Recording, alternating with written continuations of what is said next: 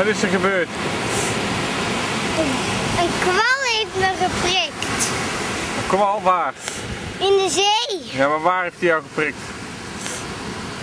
Op, de be- op mijn been en op mijn arm. Laat zien. Daar. Oh, wat zit er nu op dan? Zal. Werkt dat? Ja. Maar hoe wist je dat het een kwal was? Ik zag de sliert. Wat zeg je? Ik, ik had de kwalsliert gezien. Waar zat die slier? Daar.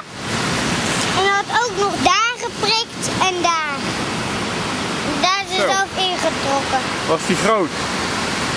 Ik had de kwal niet gezien, maar de sliert was iets van zo groot.